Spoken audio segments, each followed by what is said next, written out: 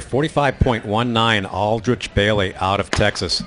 And the state meet record 45.44 X-Man Xavier Carter from Palm Bay back in 2004. Arman Hall has already stated his goal is to get down into 45. The University of Florida signee out very quick in lane 5.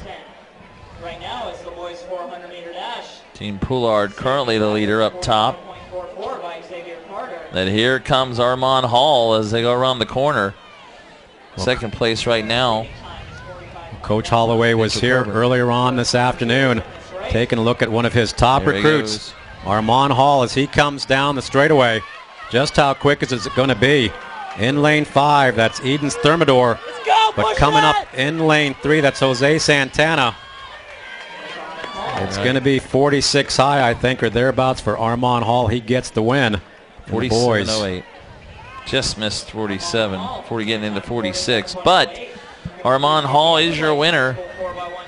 Aiden Sturmador from Park Vista second. And third place to Jose Santana of East River, 47.91.